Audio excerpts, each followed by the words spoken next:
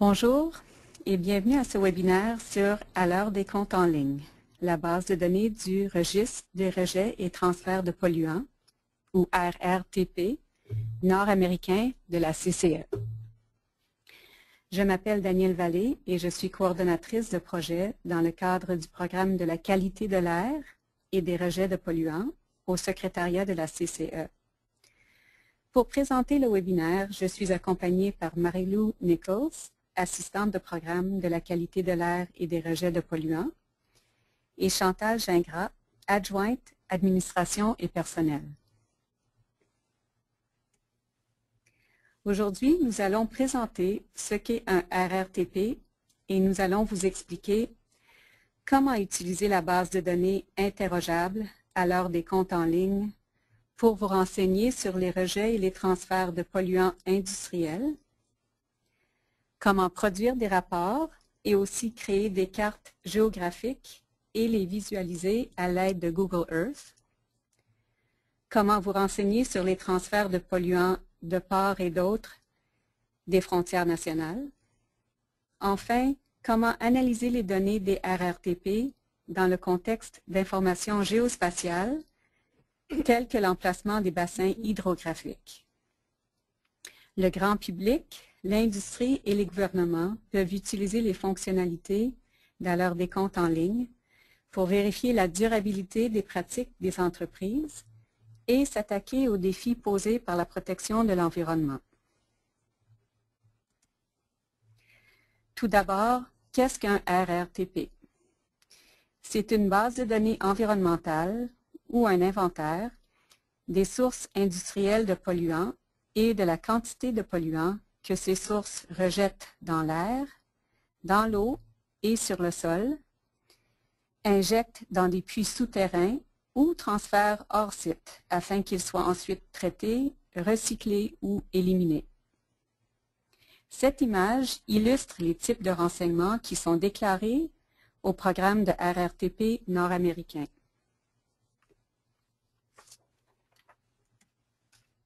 En Amérique du Nord, il y a trois programmes nationaux de RRTP. Le Toxics Release Inventory aux États-Unis, l'Inventaire national des rejets de polluants au Canada et au Mexique, le Registro de Emisiones y Transferencias de Contaminantes ou RETC.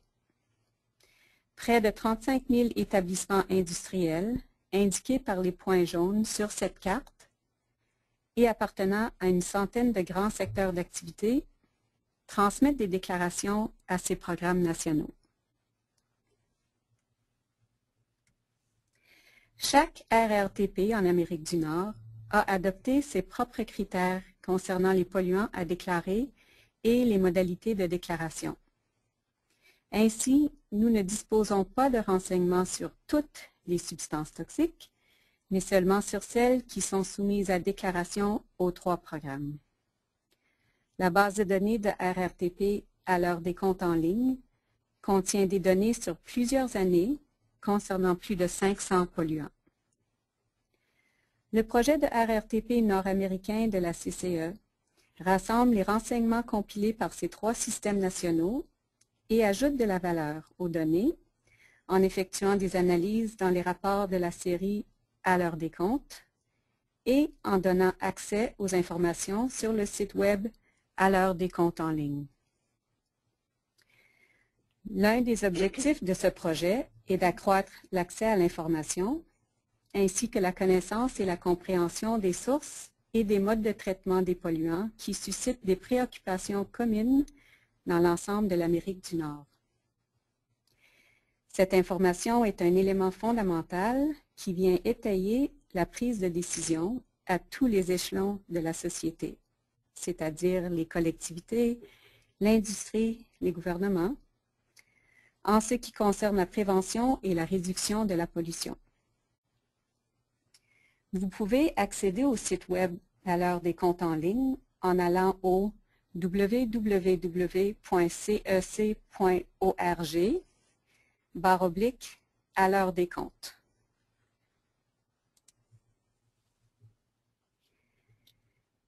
À présent, Marilou va commencer son survol du site.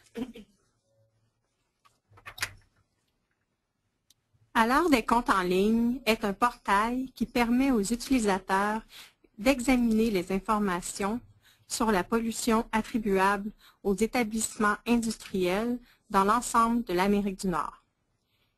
Il y a trois outils interactifs qui permettent aux utilisateurs de naviguer dans ces informations. Elles sont représentées par des icônes sur cette page.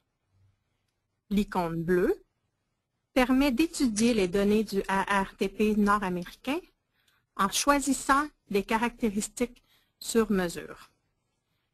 L'icône verte permet d'étudier les transferts transfrontaliers de polluants. Et l'icône orange permet de créer des graphiques sommaires. Nous allons commencer par cliquer sur l'icône bleue. Dans le menu de gauche sur cette page, vous remarquerez que des liens permettent de passer de l'un à l'autre des trois principaux outils que je viens de mentionner et d'avoir accès à d'autres renseignements pertinents, par exemple, le rapport à l'heure des comptes le plus récent et les autres activités en cours dans le cadre du projet. Dans la case « Type de rapport », en haut de la page, vous pouvez choisir l'une de cinq options pour étudier les données. Par établissement, par industrie, par pays, par province, territoire ou État et par polluant. Pour les quatre premiers types de rapports, vous pouvez cocher plus bas la case « Dissocier les résultats en fonction des polluants ». Cela vous permet de voir les résultats concernant chacun de le degré de toxicité de certains polluants rejetés dans l'air ou dans l'eau en obtenant les valeurs du potentiel d'équivalence de toxicité ou potentiel ET. Vous remarquerez une petite icône vers la fin de la case « Type de rapport ». Ces petites icônes bleues qui fournissent des informations supplémentaires sont une fonctionnalité que nous avons ajoutée à l'interface. Elles donnent accès à d'importants renseignements contextuels qui vous aideront à utiliser et à interpréter les données. Si on clique sur l'icône qui concerne le potentiel ET, on obtient des informations sur ce que sont les potentiels ET et qui les a créés, et on a accès à d'autres liens externes. Après avoir choisi le type de rapport que vous voulez, vous pouvez sélectionner les paramètres pour cinq variables. Vous pouvez choisir l'année ou les années pour lesquelles vous voulez consulter des données. Pour l'instant, choisissons 2010. Ensuite, vous pouvez choisir l'emplacement ou les emplacements qui vous intéressent. Par exemple, vous pouvez choisir de consulter les données pour l'Amérique du Nord par pays ou par État, province ou territoire. Sélectionnons le Canada et le Mexique. La section suivante permet de choisir un ou plusieurs polluants dans quatre catégories de polluants préoccupants. Il y a les cancérogènes connus ou présumés, les métaux, les substances toxiques pour le développement ou la reproduction, et enfin, les substances toxiques biocumulatives et persistantes. Puisque la liste des polluants soumis à déclaration varie d'un programme de RRTP à l'autre, vous pouvez aussi cocher la case qui se trouve au début de la section sur les polluants pour choisir uniquement les substances polluantes que les pays sélectionnés ont en commun. Pour notre sélection actuelle, vous remarquerez qu'au total, 219 polluants étaient soumis à déclaration au Mexique et au Canada en 2010. Mais si on coche la case, on voit qu'il ne reste que 53 polluants qui sont communs aux deux pays.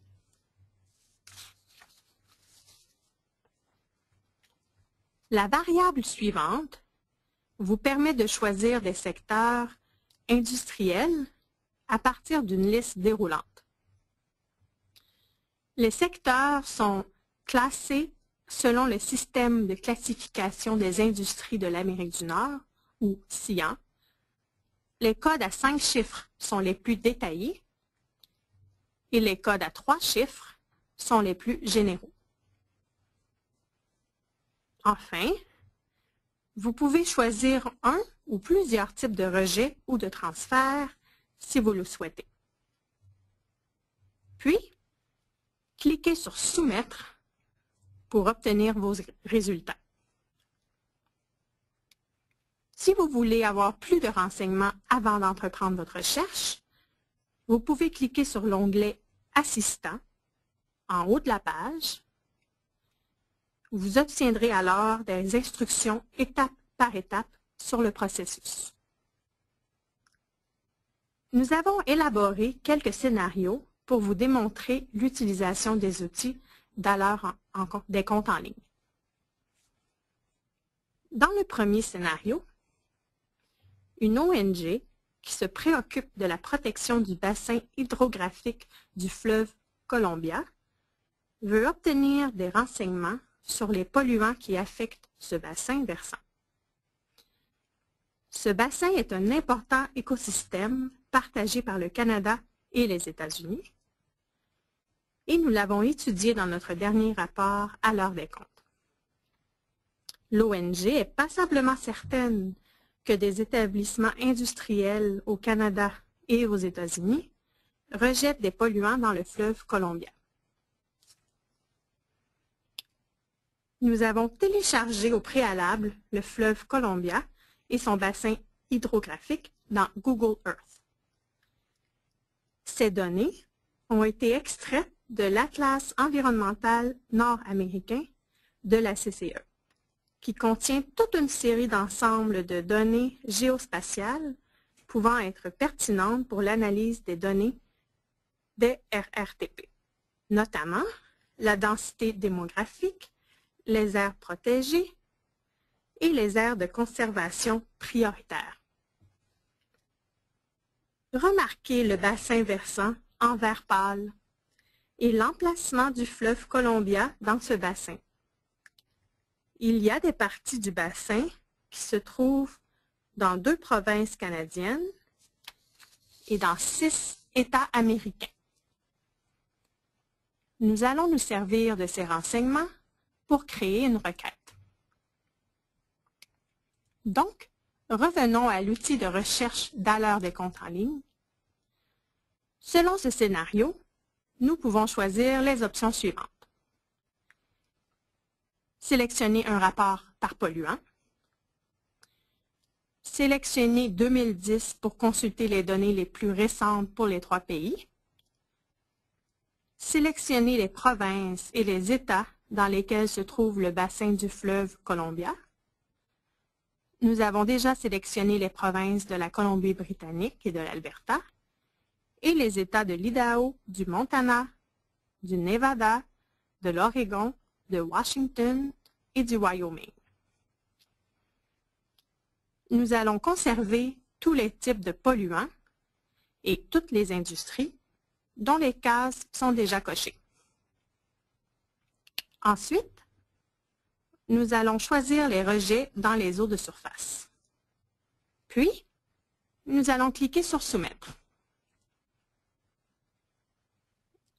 Au début de la page des résultats, vous remarquerez tout d'abord qu'il y a un résumé de votre quête indiquant les paramètres que vous avez sélectionnés pour chaque variable.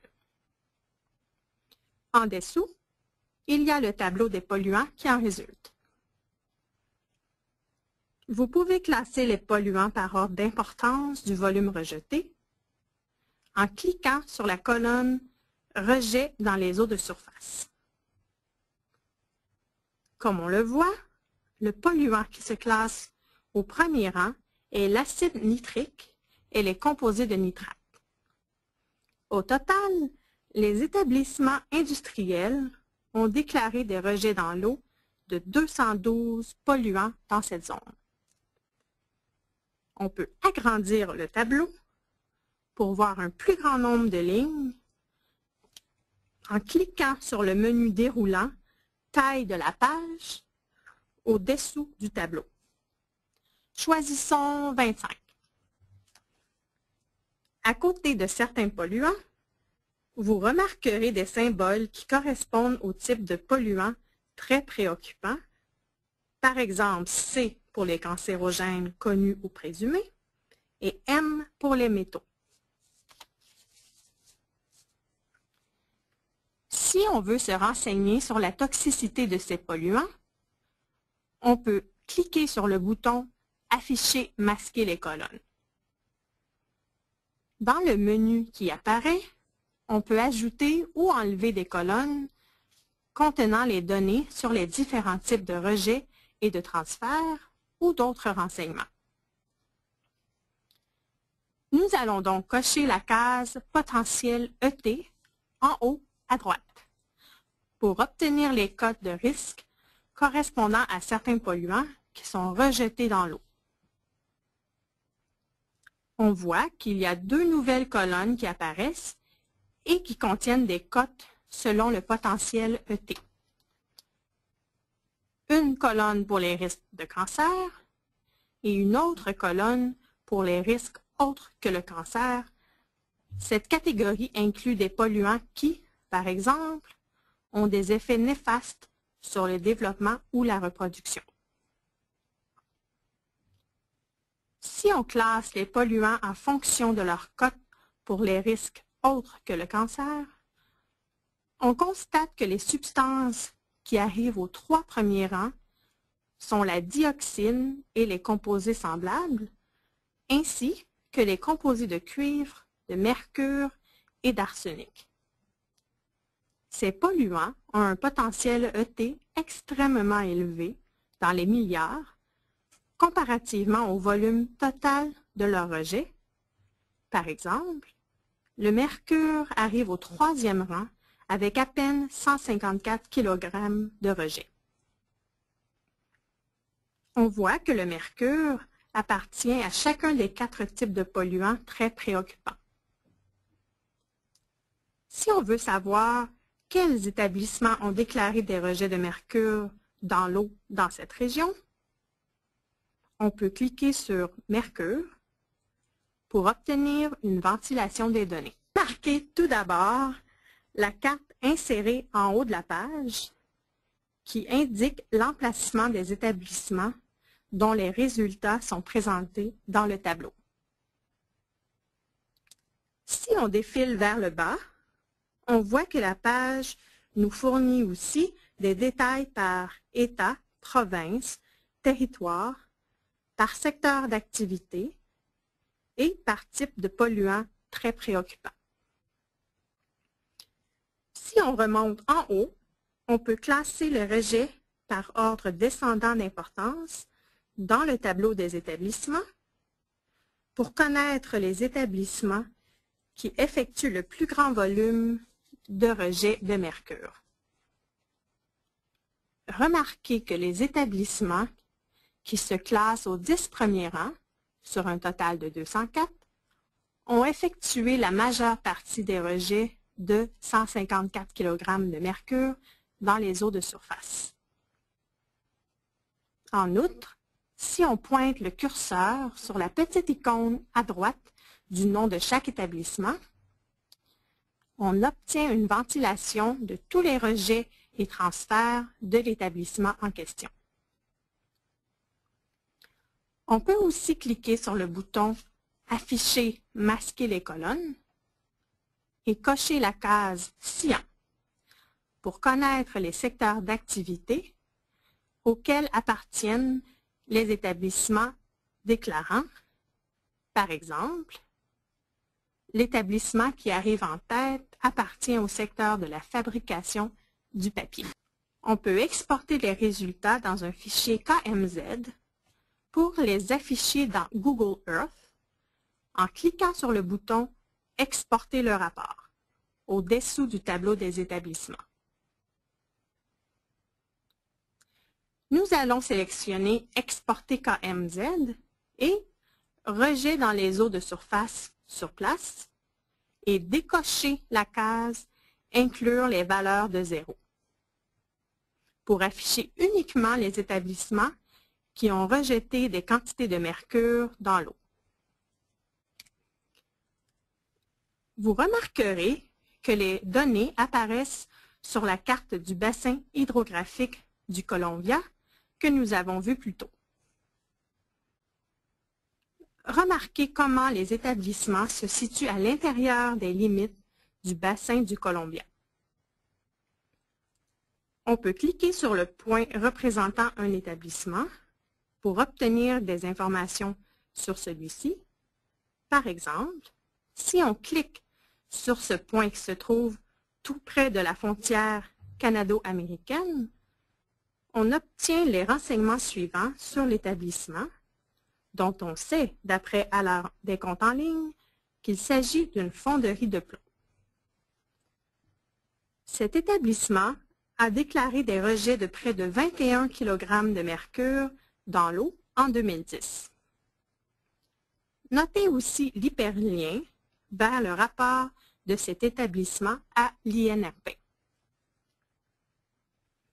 Donc, ce scénario vous montre comment vous pouvez consulter les données des RRTP et les visualiser de façon différente, sous forme de tableaux ou de cartes géographiques.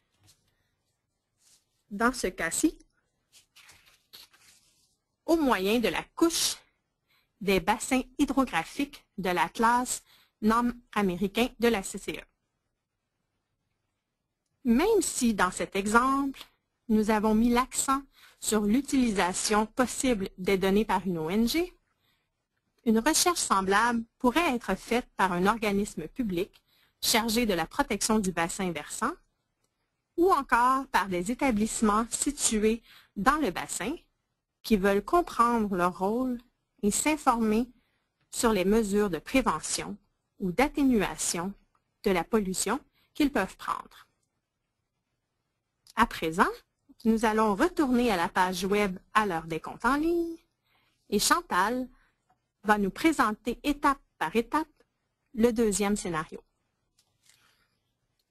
Dans le deuxième scénario que nous avons élaboré, l'EPA aux États-Unis envisage d'étendre la portée de son RRTP, le Toxics Release Inventory, pour y inclure des secteurs industriels additionnels et elle voudrait avoir plus d'informations sur les industries déclarantes qui se classent en tête au Canada.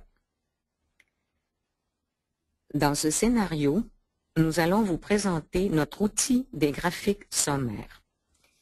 Les options d'interrogation dans l'outil des graphiques sommaires permettent de consulter les données des RRTP pour les 10 industries de tête, pour les 25 polluants de tête, pour les 15 polluants de tête selon le potentiel ET pour les risques de cancer et le potentiel ET pour les risques autres que le cancer ou sous forme de profil sectoriel. Selon le type de requête que vous sélectionnez, vous avez à choisir des options pour diverses variables. Graphique à secteur ou à colonne, année de déclaration, un ou plusieurs pays ou toute l'Amérique du Nord, type de rejet et transfert, et secteur industriel. Donc, d'après notre scénario, nous pourrions sélectionner une requête concernant les 10 industries de tête, un graphique à secteur, l'année de déclaration 2010 pour obtenir les données les plus récentes pour les trois pays, le Canada, nous pouvons conserver la sélection totale, rejet et transfert pour le moment. Nous pouvons cliquer sur les codes CIAN à cinq chiffres dans la case des industries pour obtenir un plus grand niveau de détail concernant les activités industrielles des établissements déclarants. Enfin, nous cliquons sur Soumettre. Ce graphique nous montre les 10 secteurs de tête parmi les secteurs déclarants en 2010 au Canada. Le secteur de l'extraction de pétrole et de gaz, en rouge, a déclaré 39% du total, plus de 974 millions de kilogrammes de rejets et transferts. Parmi les autres secteurs de tête, on compte quelques sous-secteurs miniers, des installations d'épuration des eaux usées et ainsi de suite. Les établissements d'extraction de pétrole et de gaz ne sont pas soumis à déclaration au Toxics Release Inventory aux États-Unis. Donc, l'EPA serait probablement intéressé à savoir ce que ce secteur industriel déclare à l'INRP canadien. Ainsi, nous allons cliquer sur ce secteur du graphique afin d'obtenir une ventilation des données pour ce groupe d'établissements. Le premier tableau nous donne la liste des établissements déclarants. Comme on le voit, il y a au total 144 établissements qui ont transmis des déclarations et il est possible d'agrandir le tableau pour voir simultanément les données sur les 100 premiers. On peut aussi trier les données selon le volume des rejets et transferts en cliquant sur la colonne Total et connaître ainsi les établissements qui ont déclaré les plus importants volumes. La majorité d'entre eux étaient des usines de traitement du gaz naturel et des établissements liés à l'exploitation des sables bitumineux situés dans les provinces de la Colombie-Britannique et de l'Alberta. On peut aussi faire défiler la page vers le bas pour consulter les autres tableaux. On voit qu'il y avait des établissements déclarant dans, au total, sept provinces ou territoires. On voit les volumes totaux déclarés par l'ensemble du secteur et on voit la répartition selon les quatre types de polluants très préoccupants. Par exemple, les cancérogènes connus ou présumés. Ensuite, on peut consulter les données sur les polluants particuliers déclarés par le secteur. Le tableau indique que 67 polluants ont été déclarés. On peut donc afficher la liste complète. On peut trier la liste des polluants afin de voir lesquels arrivent en tête pour l'importance des rejets et transferts il y a eu des volumes très importants de sulfure d'hydrogène et de soufre réduit total. Viennent ensuite le méthanol, le manganèse et les autres. Cette colonne nous indique le volume total pour chaque polluant, mais nous voudrions peut-être voir comment chaque polluant a été géré. Autrement dit, tel polluant a-t-il été rejeté ou transféré et comment? On peut donc cliquer sur la case « Afficher masquer les colonnes » et choisir des types particuliers de rejet ou de transfert, ou simplement cocher la case « Tous » pour obtenir les données sur tous les types. Cela nous montre les divers modes de gestion de chaque polluant. Si on veut savoir quels polluants ont été injectés dans des puits souterrains, une méthode de rejet courante dans le secteur de l'extraction de pétrole et de gaz, on peut cliquer sur cette colonne et constater que 16 polluants ont été rejetés par injection souterraine par ce secteur en 2010. On peut aussi voir si ces mêmes polluants ont aussi fait l'objet d'autres types de rejets ou transferts. Pour des analyses additionnelles, il est possible d'exporter des données dans un fichier Excel en cliquant sur le bouton « Exporter le rapport » et en sélectionnant Excel. Ces informations sur les polluants produits par le secteur de l'extraction de pétrole et de gaz au Canada peuvent être utiles à l'EPA aux États-Unis ou également au programme de RETC au Mexique ou encore à d'autres systèmes régionaux ou nationaux de RRTP qui voudraient comparer leurs données à celles d'autres programmes. Des recherches de ce genre peuvent aussi être effectuées par une association industrielle ou encore une société mère qui veut se renseigner sur les activités de gestion des polluants de ses établissements membres, par exemple pour son rapport annuel sur la durabilité. À présent, Marie-Lou va vous présenter un scénario dans lequel elle va utiliser l'outil des transferts transfrontaliers d'à des comptes en ligne. Dans le troisième et dernier scénario que nous présentons aujourd'hui, un citoyen mexicain veut connaître les types de polluants qui ont été transférés au fil des ans à des établissements situés au Mexique par des établissements situés aux États-Unis. L'interface utilisateur des données sur les transferts transfrontaliers est semblable à celle des autres modules d'alors des comptes en ligne, mais les données transfrontalières sont disponibles uniquement à partir de 2006. Pour ce scénario, nous allons choisir toutes les années, de 2006 à 2010, et les transferts en provenance des États-Unis. Si nous voulons consulter, par exemple, les données sur les transferts de métaux des États-Unis au Mexique, nous allons cocher la case métaux dans la section type de polluant. Pour l'instant, nous pouvons laisser la sélection toutes les industries dans la section des secteurs industriels et la sélection totale transfert transfrontalier dans la section des types de transferts. Ensuite, nous cliquons sur Soumettre.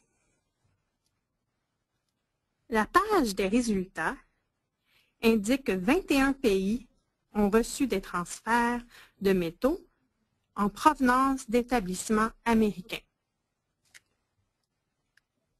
Si on trie les résultats en cliquant sur la colonne de 2010, on remarque que le Mexique se trouve en tête de la liste.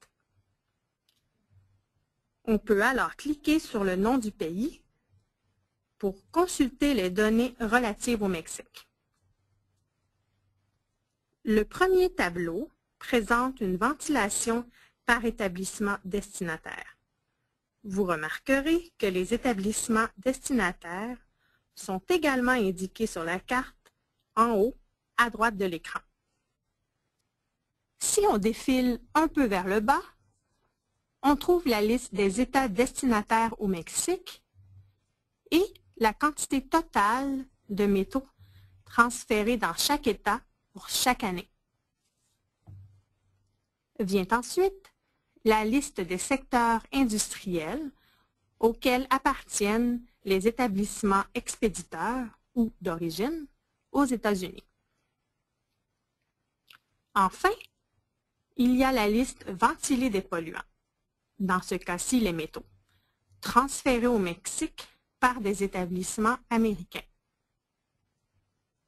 On peut cliquer sur l'année la plus récente, 2010, pour voir quels métaux ont fait l'objet des transferts les plus importants cette année.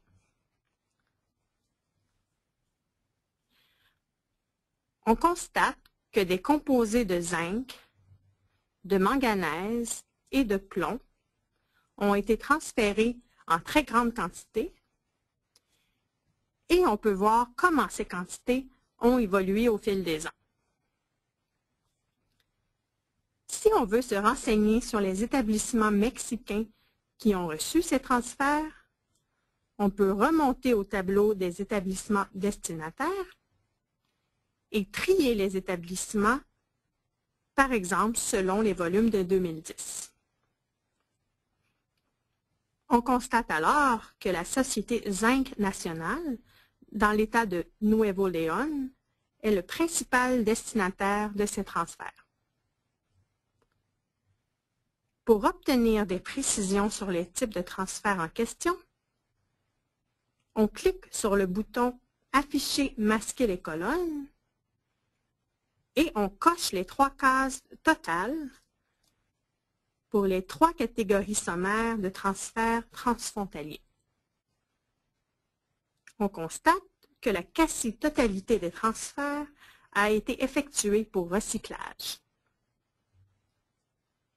Si on veut, on peut aussi cliquer sur le nom de la compagnie Zinc National pour connaître les établissements d'origine qui ont transféré des métaux à Zinc National.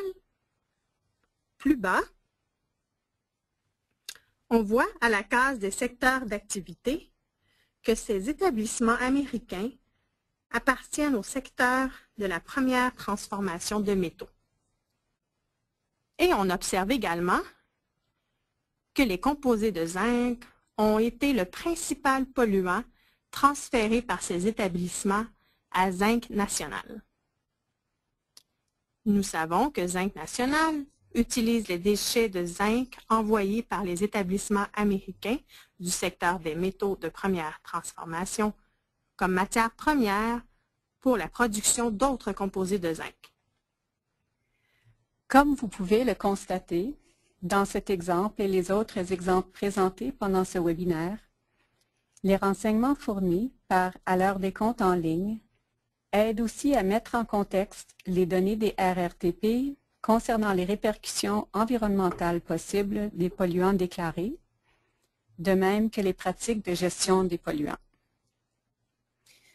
Nous vous remercions de votre attention et nous espérons que, grâce à ce webinaire, vous aurez une meilleure connaissance de toute l'abondance des informations disponibles dans à l'heure des comptes en ligne et de la façon d'utiliser les divers outils que nous avons mis au point. Nous espérons que vous prendrez le temps d'explorer davantage à l'heure des comptes en ligne. Vous remarquerez d'autres liens dans la table des matières, notamment un lien vers des explications sur comment utiliser et interpréter à l'heure des comptes. Vous y trouverez des informations de base importantes, entre autres sur les principales différences entre les critères de déclaration des trois programmes de RRTP.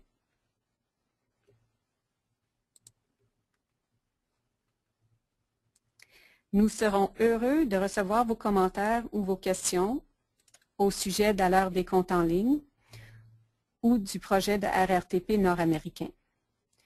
Vous pouvez nous les envoyer en ligne à l'aide de la fonction chat de GoToWebinar ou via courriel à Marilou Nichols au M-N-I-C-H-O-L-S à commercial cec.org. Merci.